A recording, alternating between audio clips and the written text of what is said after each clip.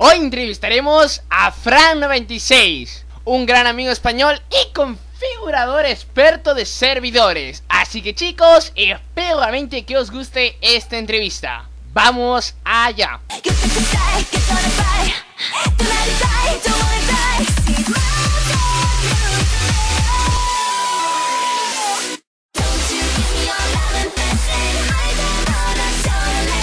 Chicos, hoy nos encontramos aquí con Fran96MC, uno de los fundadores de NeoCrafters y esto, configurador de servidores. ¿Cómo estamos, Frankie? Hola, buenas, Juan. ¿Qué tal, bro? Bueno, eh, emocionado para ver qué se viene hoy día, Fran. Sí, dispuesto a ver qué, preguntas quieres hacerme y, y yo encantado de contestarte a todo lo que pueda de verdad. Eh, bueno, primero muchas gracias, Fran, por aceptar, ¿no? Hacer esta entrevista. Y pues eso, Ok, Fran, vamos a iniciar. A ver, cuéntame. Primero, demostrado, ¿no? Que conoces bastante acerca de el tema de la configuración de servidores, el tema ya del Minecraft en general, ¿no? Y tú, a ver, Fran, cuenta, ¿cuánto tiempo llevas jugando Minecraft? Pues yo empecé a jugar Minecraft más o menos sobre el 2012. O sea, Creo que aproximadamente era la 1.2.5 o así. Sí, sí, o sea, hace mucho, mucho tiempo. Me acuerdo de hecho que en los menús de creativo de Minecraft, de hecho no había ni no había ni categorías, estaba todo en un solo menú. Todo estaba así dispersado. Hombre. Sí, sí, sí. los servidores en, ese tiempo encima iban por Hamachi y me acuerdo yo que para jugar con los amigos tenía que descargar de Hamachi, unir las IPs, era un jaleo increíble. ¿No había servidores de minijuegos o ya habían? Eh, como tal sí, los había, pero eran premium. Y claro, en ese tiempo yo cuenta premium no tenía. O sea, Oh, hasta que... no, te lo compraste, o sea, apenas jugaste no, con 15 años. Mm. Con 15 años no. Yo a partir de los 16, 17 ya me compré mi cuenta premium, pero... Vale. Pero estuve un año o dos que no. Ole, Fran, vale, vale, bro. Ok. A ver, eh, a ver, y esto me da bastante emoción a mí, ¿eh? A ver, Fran. ¿Y tú, cuánto empezaste ya con el tema de la configuración de servidores? ¿Cuál fue tu primer server, Fran? Pues el nombre del primer server me costaría decírtelo, pero sí recuerdo que empecé a, configurar servidores Vale. Por YouTube, por YouTube, precisamente, porque yo empecé a ver vídeos de Minecraft y tal, y me llamó la atención el tema de configurar servidores con un youtuber que había en esos tiempos, que era el canal de Last Wish Spain. Y tenía un servidor que se llamaba Las Metropolis, si, si no recuerdo mal. ¿Y, de qué era ese servidor, Fran? ¿De qué era? ¿De survival? era, sobre, todo un survival y le fueron metiendo minijuegos, pero minijuegos de una forma no como la que vemos ahora mismo, que hay Skywars, eh, PvP, todas esas modalidades, no. Eh, era todo metido en un solo survival que podías encontrarte minijuegos como, yo que sé, eh, pelear contra un mob, laberintos, cosas muy básicas. O sea, no existía toda la complejidad de plugins que hay ahora mismo. Vale, y a ver, ¿ese youtuber todavía existe, Fran? O sea, ¿todavía hace vídeos y eso? Eh, hace poco lo he mirado además porque me, llamó la atención, dije a ver si a ver qué ha sido de este chico. Y, sí, sigue grabando vídeos, pero ya no se dedica en especial a Minecraft. Creo que ahora se dedica a subir vídeos de criptomonedas y tal. Él ha evolucionado. Ah, vale, vale, ok. El tema del trending, ¿cómo se llama? trading, ¿no? Algo así, ¿cómo la cosa? sí, valgo de eso. Yo, ah. yo no sé mucho tampoco de cripto, pero... Tampoco, yo tampoco. Vale, vale. Ok, Fran. Perfecto, bro. Y tú, y tú, algo más que quieras mencionar acerca de tu primer server, Fran. ¿Sí, cómo, ¿Cómo empezaste tú? ¿Como ayudante o tú mismo ayudaste para configurarlo? Realmente en, las Metrópolis no llegué a ser staff. En las Metrópolis, después de estar en las Metrópolis y aprender ahí un poco de configuración, eh, cerraron el servidor y yo no tenía ningún servidor al entrar, así que me puse a buscar un servidor de Skyblock, porque en esos momentos a mí me gustaba mucho Skyblock, y encontré, y encontré Neocrafters. ¿Neocrafter? ¿Ya existía? Sí, eh, yo ahí encontré Neocrafters, sí. Eh, bueno, yo empecé a jugar como un usuario normal. Vale. Eh, me gustó mucho el servidor y acabé comprándome rango VIP. En plan, oh. yo fui VIP, estuve jugando como un usuario más, o sea, no sé. A ver, ese tiempo de Neocrafter, eh, más o menos cuántos usuarios tenía, ¿cómo, cómo era Neocrafter ese tiempo? Eh, estamos hablando más o menos sobre 2016, 7 más o menos. Bueno, ah. no, creo, creo que incluso más. 2015 yo creo que era. Vale. Sí, 2015. Pues habría unos 2.000, 3.000 usuarios en Neo más o menos. Creo que había... Eh, fue, fue su punto bueno, la verdad. Ahí tenía bastantes usuarios. La mejor época, la época dorada de Neocrafters. realmente sí. Yo, yo además me encantaba jugar sobre todo facciones. Era una de las modalidades que más me gustaba. Vale, vale. Y, bueno, yo, yo empecé a jugar, ya te digo, como un usuario normal. Llegó un momento en el que dije, jolín, quiero, quiero seguir con esto, o sea, ¿cómo puedo llegar a ser staff?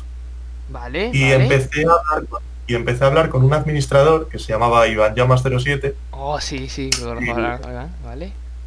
Y bueno, me, hice amigo suyo, empecé a llevarme bien con él, hubo buen rollo, luego a partir de ahí conocí a Minamar, que, que bueno, hasta que cogimos confianza costó un poco, pero, pero al final sí nos, nos llevamos muy bien. bien vale. Y, ya llegó un momento en el que dije, bueno, eh, ¿puedo ser ayudante? Y me dijeron que no. ¿Que no? ¿En serio? A ver, pero tú esperaste que hagan postulaciones, ¿no? Algo por estilo. ¿O cómo, cómo fue la sí, Sí, sí, pero, pero me dijeron que no. Por, a ver, es lógico. Si eres un VIP, es difícil que te acaben cogiendo. Pero bueno, a ver, ¿tú eh, qué edad, tenías en, eh, qué edad tenías en este tiempo, Fran, en el 2015? Yo tendría unos 16 años más o menos. Vale, vale, ok. Bueno, te cuento. Eh, me, dijeron que no, me dijeron que no de entrada, pero bueno. Pasaron unas semanas, vieron que yo era un buen usuario, ayudaba mucho. Me acuerdo yo que en esos tiempos hasta les hice una aplicación de móvil a Neocrafter. ¿En serio? Sí, les hice una peca. ¿Con qué le hiciste, Fran?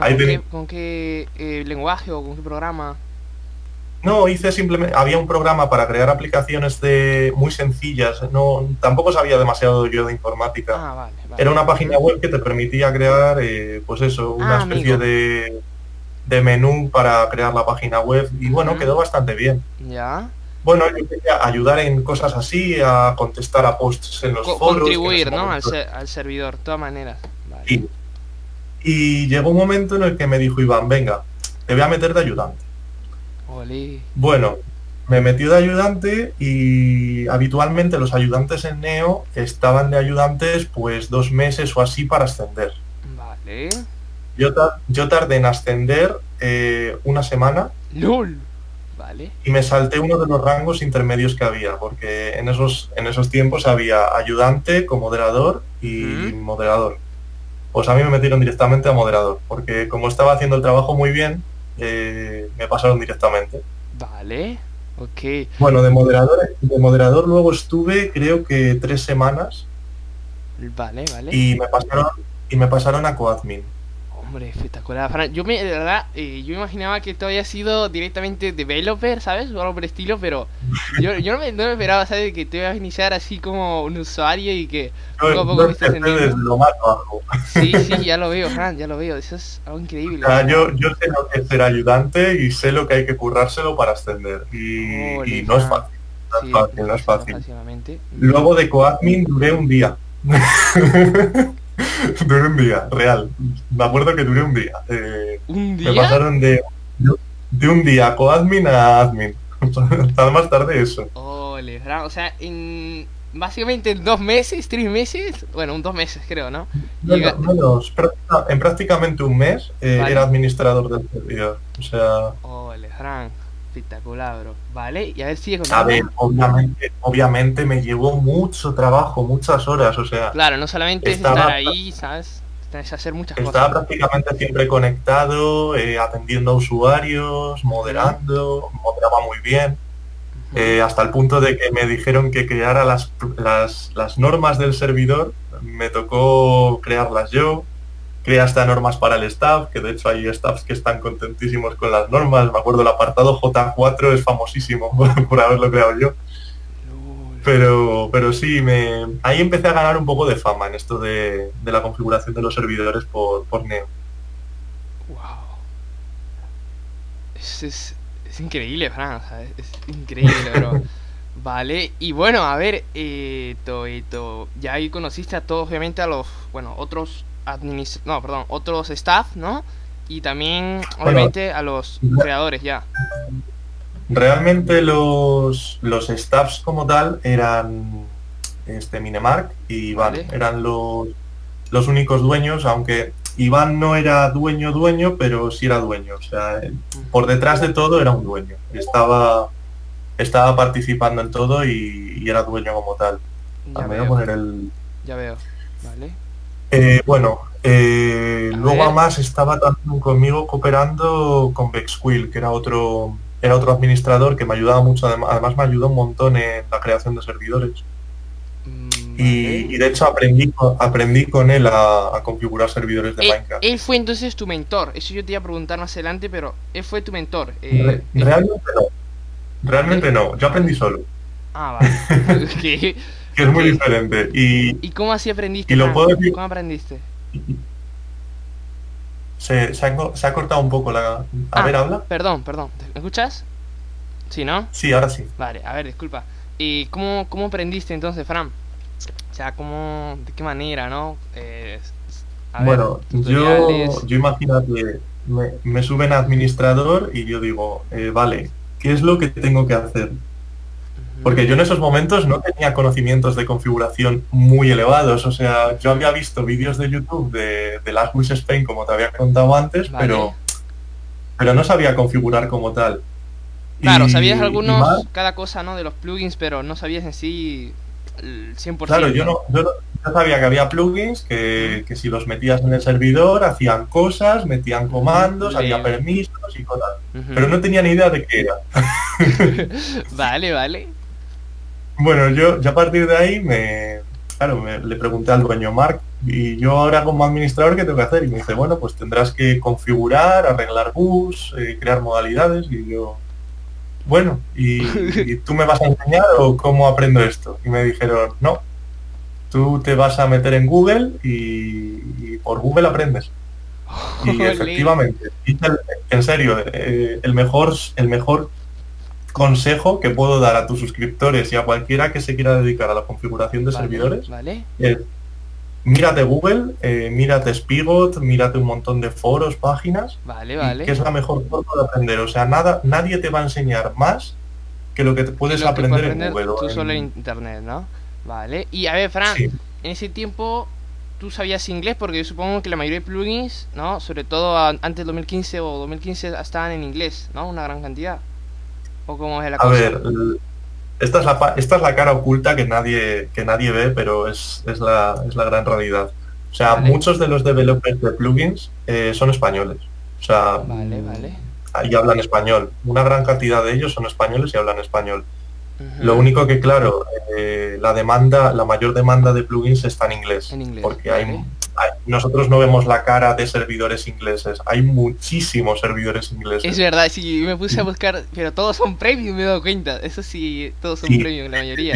Por todos. Quería participar en un proyecto con Mark de un, de, un de crear un servidor premium, pero no, lo veíamos viable al final. Vale, vale. Y, y sí, sí, o sea, como tal es, es, donde más servidores hay. O sea, realmente los, los, los servidores ingleses son los que más se llevan a la larga usuarios. Pero, pero es lo que te digo, inglés a la larga acabas aprendiendo. El traductor de Google y que en, en, la escuela o en el colegio vas aprendías ahí un poco de inglés, luego en el instituto más, pues. vale. Fran, y a ver, ya cambiando un poco el tema antes que me termine de contar la historia, eh, eh, tú has creado plugins propios, ¿verdad? Sí, tengo dos o tres plugins creados por mí, alguna edición de algún plugin que ya, ya estaba creado, en plan... Ah, sí tengo, pero, publicados no, como tal. Voy a ah. empezar a vender... Voy a empezar a vender ahora un plugin que hice en cooperación con un developer hace tiempo y él abandonó el proyecto y yo lo he retomado hace poco y lo voy a empezar a vender en mi web. Además lo he puesto a la venta creo que ayer. Va, espectacular, Fran. No, yo te iba a preguntar eh, cuál habrá sido tu, tu primer plugin 100% hecho por ti. Eh, ¿Tienes alguna respuesta? Creo que fue un, fue un plugin que simplemente entrabas al vestíbulo Vale. y ponías, ponías barra fly y te daba fly. Hombre. Sí, sí, sí. O sea, es el primer plugin que creo. Creo que fue el primero de todos. Luego había uno que, que, lo hice para Skype VP, que esa modalidad la has, llegado, a jugar tú en Me encanta, es de las mejores. Eh, no en PvP Coche, Neocrafter también la jugué antes, cuando, bueno, Neocrafter todavía estaba, ¿no? Pues el plugin que hay en Skype VP eh, lo creé yo que era eh, no puedes romper ningún bloque, ni siquiera los administradores podemos romper bloques, o sea, si queremos romper algo tenemos que quitar el plugin y usar Edit o usar Edit. Vale, vale, vale. Y, únicamente se pueden poner bloques en los bloques en los bloques rojos que había que encima tenía que ser el bloque de TNT. Ese ha sido el plugin que más dolores de cabeza me ha dado. y encima es una tontería increíble el plugin, pero bueno. Bueno, Fran, ya, ahora, eh, regresando. A ver, ok, luego una vez que ya a admin, ¿no? Aprendiste acerca de la configuración de plugins, ¿no? Configuración de server. ¿Qué, ¿Qué, fue lo que pasó? Cuando llegaste a admin ya te pasó todo eso. Bueno, pues yo abandoné Neo abandoné Neo, pero de buenas, o sea, yo, yo siempre me he llevado bien con Iván y con Mark. y, bueno, abandoné Neo porque quería crear mi propio servidor. ¡Hala! ¿Vale? Porque me gustó mucho lo del rollo de los servidores y dije, me veo capaz, voy a intentar hacerlo yo. Y creé un servidor que conoce muy poca gente, de hecho la gente que me sigue sí, sí sabe de la existencia de él, que fue Survicrafters. Survicrafters, ¿vale? Survicrafters fue el predecesor a PvP Gods. eh, bueno, Survicrafters fue un proyecto que inicié. Eh, no fue muy bien porque no ganó usuarios, pero sí tenía bastante potencial en cuanto a, a contenido. O sea, los servidores estaban bien configurados, iba muy bien. Vale, vale. Pero no, tenía la suficiente publicidad, ya sabes cómo va esto, los servidores. que tener youtubers y todo eso es un quilombo, ¿no? Sí, sí, sí. En un comienzo, sobre todo, traer a la gente y después ya una vez que la gente le guste, ¿no? Tienes ya como que tu mm. público y de ahí ya esos van trayendo a otras personas, pero eso es un poco complicado, ¿no? Claro, yo en este momento no sabía qué hacer y lo que decidí fue, eh, vale, me voy a liar con otra persona vale. a ver si conseguimos que esto crezca. Y ahí apareció otro chico con el que me junté y montamos ya PvP Gods. Le cambiamos el nombre a de Survicraft a y, empezó a crecer, a crecer, a crecer. Eh, bueno, de hecho, para crecer nos tocó contactar con un youtuber. Vale. Que encima, encima, era un youtuber de 5 millones de suscriptores o por ahí, o sea, era un youtuber. ¿Qué youtuber era, grande. ¿Quién era? ¿Quién era? Era, era Ambia. Ambia, broleos falsos, hombre. Vale, vale. sí, sí. Ese mismo. Eh, y bueno, eh, grabó unos un par de troleos en nuestro servidor, dijo que era su servidor y, y ahí empezó a crecer pvpgots.com. Ah, hablo aquí de pvpgots.com. Increíble, eso fue hace eh, tres años, ¿no, Fran? ¿Hace cuánto tiempo fue eso? Fue hace unos cinco años, por lo menos. Hombre. Cuatro o cinco años. Vale, vale, vale. Ok, en ese... Bueno, Dime, a ver, disculpa. ¿Eh? Dime, sí, sí, sí, disculpa. Empezó a crecer PvP Bots, llegamos a unos 400 usuarios, 300 y pico. Vale, vale. Y una vez que llegamos ahí, eh, íbamos muy bien, realmente. Uno de los dueños empezó a desatender el servidor. Y bueno, yo dije, vale, si no vas a preocuparte por el servidor, nos lo dejas, que ya seguimos nosotros con él y, no hay problema. Eh, llegamos a ese acuerdo, dejó el servidor, nosotros seguimos con él y llegó un momento en el que yo empecé en la universidad.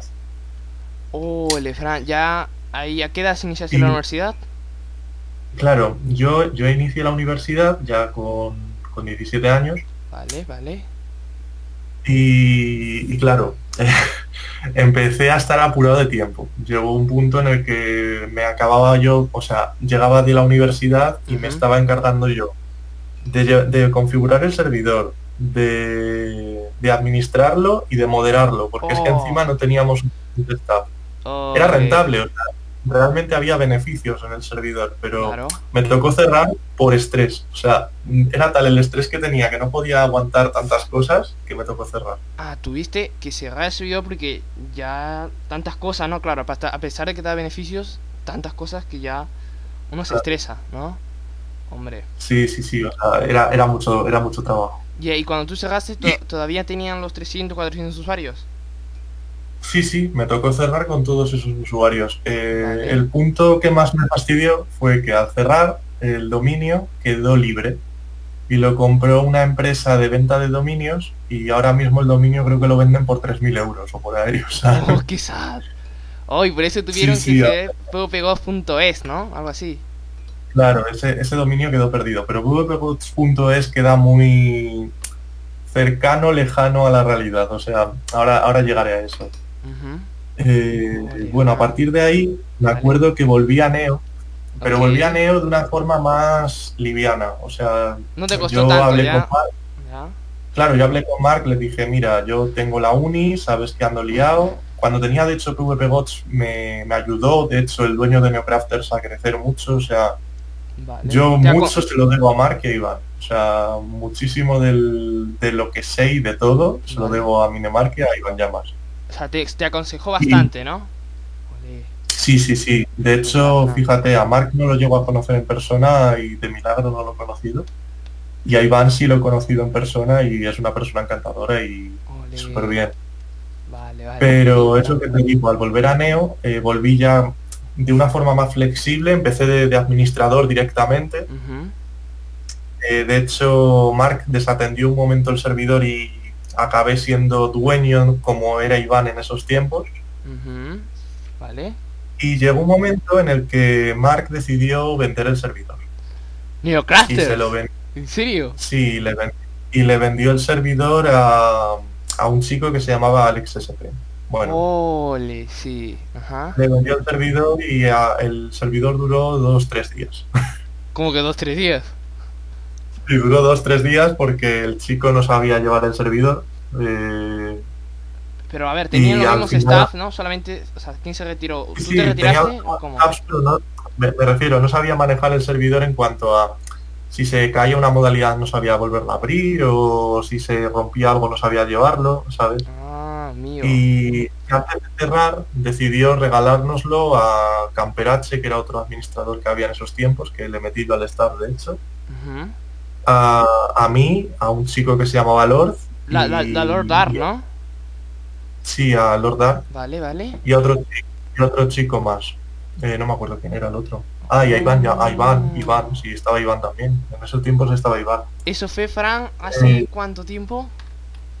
Esto fue hace exactamente año y... No, casi dos años, hace dos años, no hace mucho. Vale, vale, sí. Bueno, yo eh, ahora estoy ya un poco no. Eh, todo. El año pasado, creo que fue el año pasado, sí, creo que el año pasado, recuerdo que en la cuarta generación de la... No, en la quinta generación de la UG vine a Neocrafters y estaba Dalor Dar, estaba Iván Llamas, y ahí fue donde los conocí, ¿no? A la gente de Neocrafters. Sí, ahí, de, hecho, te conocí yo a ti. ¿En serio, Fran? ¿Cómo fue que nos conocimos? Claro, yo, en esos tiempos era dueño de Neo. Ole. Vale, vale, vale. Ok. Esto es cuando, es cuando tenía yo, bueno, de hecho los tengo subidos en YouTube todavía, es de cuando grababa yo los directos en Neo haciendo eventos y tal. y, y bueno, en esos tiempos que éramos cuatro dueños, o sea, cuatro dueños para un servidor, me parecía algo muy exagerado. Sí, sí, pero, pero lo llevábamos bien. Había cierta compenetración y nos manejábamos bien. Lo que hubo un momento en el que ya dijimos, no, tenemos, no teníamos tiempo cada uno para compenetrarnos en seguir con el server y tal, y, y volvió a aparecer Alex. Volvió a aparecer Alex y nos dijo que si podía comprarnos el servidor de nuevo a nosotros. ¿Y qué pasó? Claro, nosotros lo valoramos, estuvimos pensando qué hacer y, decidimos venderle el servidor. LOL. Vale. Eh, le vendimos el servidor, yo a partir de ahí me desvinculé de Neo totalmente porque Mark seguía por su lado con, su empresa de hosting y Iván seguía por otro lado con, con su Twitter y más cosillas que tenía ahí montadas él y, me desvinculé en ese momento de Neo. A partir de ahí creo que empecé ya con el proyecto de mi web. De tu web. Bueno, empecé, un poco antes con mi web. ¿En qué año empezaste yo, con, tu web? Yo mi web la empecé eh, justo cuando empecé a ser dueño de Neo. Vale.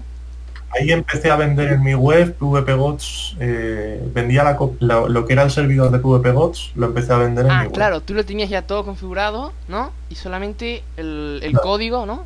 Lo vendías. Claro, los servidores. Eh, realmente ahora mismo en mi servidor vendo la network básica, que la vendo como network básica, pero realmente es Survicrafters, el primer servidor que creé, que me da cierta nostalgia. Vale, vale. Eh, Luego el segundo servidor que vendo es eh, PvPGods como tal, que es el servidor que configuré yo de PvPGods, que realmente es el servidor mejor calidad-precio que tengo. Okay. Y, y, luego vendo Neocrafters, una de las copias que creé yo. No vendo la original porque es la que estamos creando actualmente y obviamente eso no lo puedo vender. Claro, claro. Pero sí una de las copias que creé yo. Increíble, Vale, y bueno, y después eh, vi que también tenías otros como por ejemplo Pixelmon, ¿no? O otras las modalidades. Bueno, esos han sido proyectos que, quedaron en el olvido, o sea, hemos, mira, en Neo, hemos llegado a tener proyectos con Telefónica incluso. O sea, me acuerdo yo que llegamos a tener un proyecto con, con Telefónica que, que participó de hecho participó mucho más en ese proyecto Mark y Convex y creo que fueron los que al final acabaron con ese proyecto. Vale. Y, sí, sí, han, hecho muchos proyectos realmente. Ya veo, ya veo. luego aparte, extraoficialmente de los servidores, también yo hice un proyecto, de hecho sigue activo en mi web. Está oculto, pero, pero sigue activo. ¿Cuál es? Que era de la la zona privada de mi web, que va un poco de hacking, de cómo aprender, de ciberseguridad. Vale, vale. Y, también luego había una parte, un proyecto que hicimos Mark y yo y Iván hace mucho tiempo, que era Amazing Streaser, que era para... Era, un, era como una especie de, de, para, para, venderlo y tal, pero estaba muy bien. ¿Un Streaser? ¿Qué es un Streaser, Fran? Un Streaser es eh, una plataforma por la que puedes hacer ataques de DDoS para probar servidores. Que, ah, bueno, eh, para probar servidores. Luego hay gente que lo utiliza mal para para tirar conexiones o tirar servidores, pero, oh. pero su utilidad inicial es para probar servidores. Vale, Fran, y a ver, entonces, eh, ¿tú tienes conocimientos eh, de qué lenguajes de programación? PHP, no sé, ¿qué, qué, qué, a ver, Java, Java obviamente me manejo un poco para crear algunos de los plugins que tengo, pero, pero sí. PHP eh, obviamente para hacer mis webs, JavaScript está un poco intrínseco contra las dos. HTML y CSS se dan por supuestas, obviamente, pero... es obvio, vale, vale. Pero realmente, no sé mucho más, o sea, yo, yo todo lo que he aprendido, ya te digo, ha sido a base de ver tutoriales en YouTube, de sobre todo foros en en internet, o sea, muchos foros, por foros se aprende muchísimo, viendo la documentación de, de sources, de plugins, de, muchísimas cosas, por ahí se puede aprender muchísimo. Ya veo, wow, espectacular. Fran, una pregunta, eh, ¿algún día considerarás hacer un curso de desarrollo de servidores, sabes? ¿Has pensado hacer algo por el estilo? Me lo he planteado. Eh, yo me llegué a plantear en plan cómo crear un servidor de Minecraft, dar, dar las bases. Sí lo, había, sí lo había pensado. De hecho, llegué a pensar en crearme, bueno, en crearme, en mejorar el canal de YouTube que actualmente tengo. Pero, pero me da muchísimo trabajo entre que estoy creando nuevos servidores, que la web ahora me da mucho trabajo porque tengo clientes que me vienen constantemente. Quiero un servidor de tal forma, de tal forma. Mm, al final he llegado al punto de decir, ya no hago servidores personalizados, ahora simplemente los doy preconfigurados y, de momento he cerrado ahí el, el crear servidores personalizados, pero, pero sí, o sea, estoy muy abierto a eso realmente. Wow, vale, Fran, y a ver, disculpa, eh, ¿tú qué estás estudiando? O sea, de universidad, ¿qué, ¿qué, es lo que estás estudiando, Fran? Yo actualmente estoy estudiando magisterio. Ah, eh, estuve estuve estudiando un año informática. Eh, estuve estudiando administración de sistemas informáticos en redes. Así creo que se llama, ciclo superior. Vale, vale. Y iba muy bien. De hecho, ahí aprendí algunas cosillas para para en plan desarrollo web aprendí bastante de ahí. Hombre. Vale, vale. Ok. Vale, Fran, entonces y todo, o sea, espectacular. Ok, a ver, y más o menos ya cuéntanos, ¿no? ¿Cómo terminó el tema de la historia de Neocrafter? ¿Dónde estamos ahora? ¿En dónde estás tú ahora? ¿Cómo terminó Bueno, Neocrafter, Neocrafter se ha dado muchísimas vueltas, o sea, que si el dominio iba para uno, que si el dominio iba para otro, que si uno lo vendía, que si otro no lo vendía, bueno. Ah. La cuestión es que al final eh, el dominio acabó en manos de, de Lord, que fue el último que lo tuvo. Vale. Y lo último que se ha sabido es que Minemark eh, quiso volver a, crear Neocrafters como tal y le propuso a Lord la oferta de comprarle el servidor, aunque realmente Lord ya estaba buscando un, alguien que le comprara el servidor. Ah, entonces. Así que Mark, le ofreció una oferta, le, vendió el, le vendió el dominio y ahora estamos volviendo a rehacer Neo en su fase nueva y, mejor y, mejor. Bueno, tú de hecho has visto un spoiler que te he enseñado antes de, de esto y eres el, eres el que mejor puede opinar de cómo está quedando. No, o sea, está quedando muy galáctico, asegurado. Vale, bro, o sea, fascinante, Fran.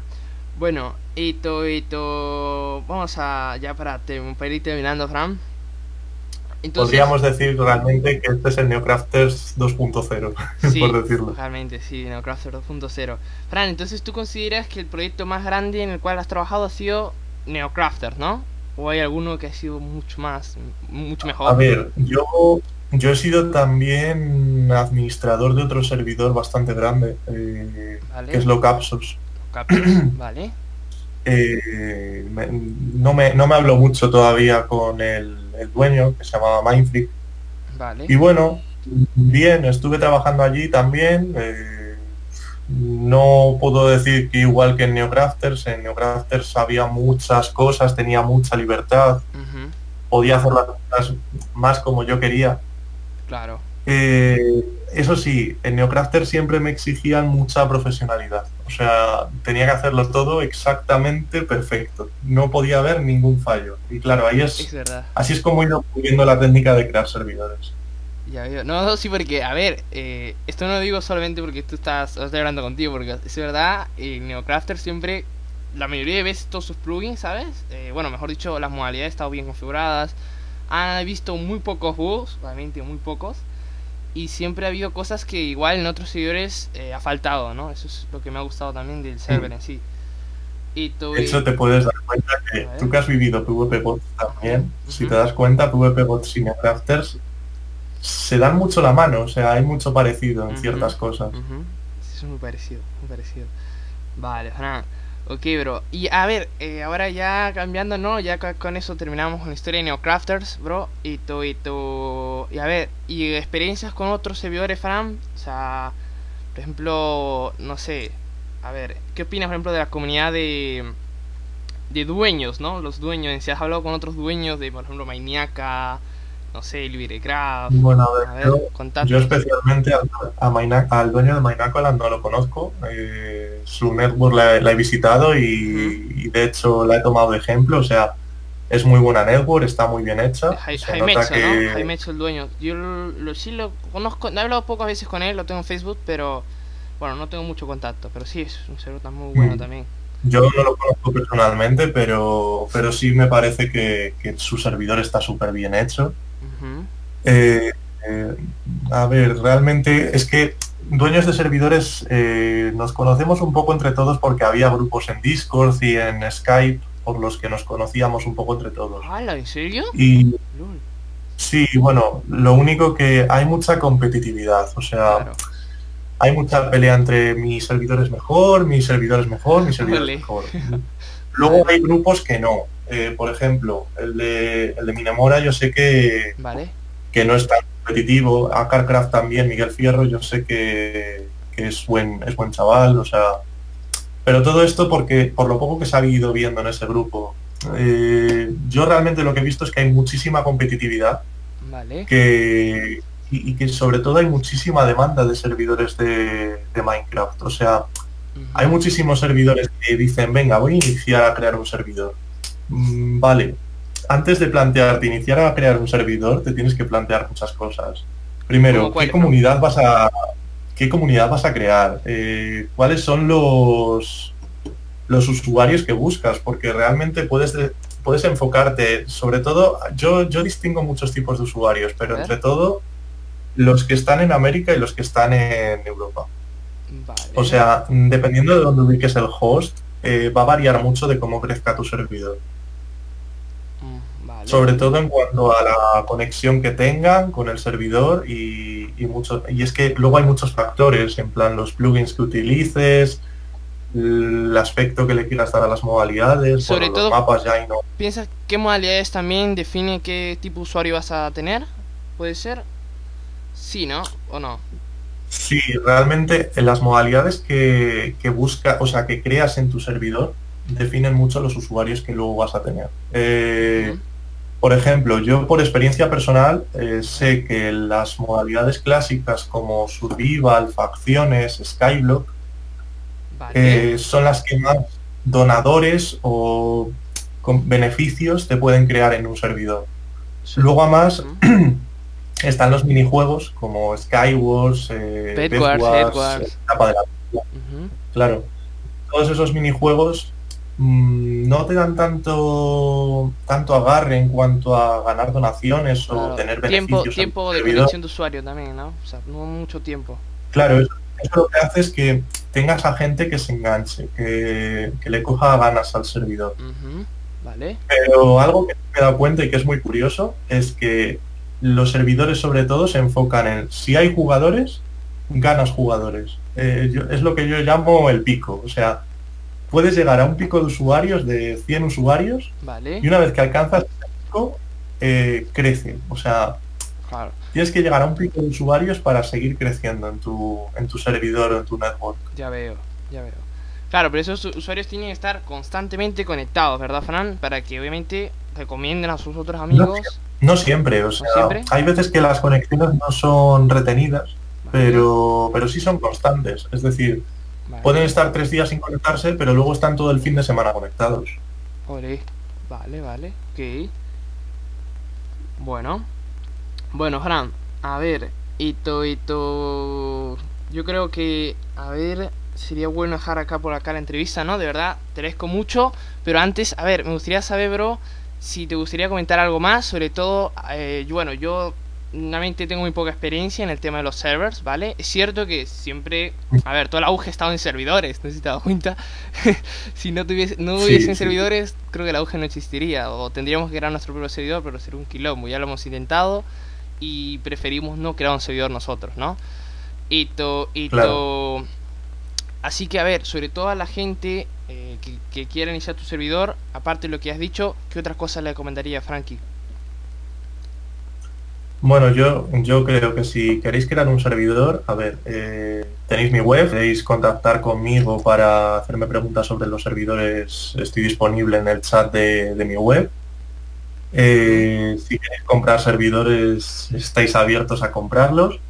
Eh, actualmente voy a añadir nuevas opciones de venta, que aparte de vender servidores, si queréis aprender en plan, si queréis crearos vuestro propio servidor pero no tenéis recursos, voy a empezar a vender plugins. Voy a vender diseños también y mapas lo estoy planteando, pero seguramente también acabe vendiendo mapas. Oh, vale. Espectacular, bro. Vale. Ok, Frankie, de verdad, muchísimas gracias, bro, por haber aceptado y sobre todo, a ver, por todos estos consejos, ¿no? Que, a ver, esto es lo que tú nos estás dando, es un valor que estoy seguro que a la gente le va a seguir bastante. Así que, Fran, Muchas gracias, bro, de verdad, por aceptar la entrevista y por acompañarnos el día de hoy, ¿vale? Y esto, esto, bueno, espero realmente chicos que les haya gustado este video, ¿vale? Y nos vemos hasta la última. Adiós.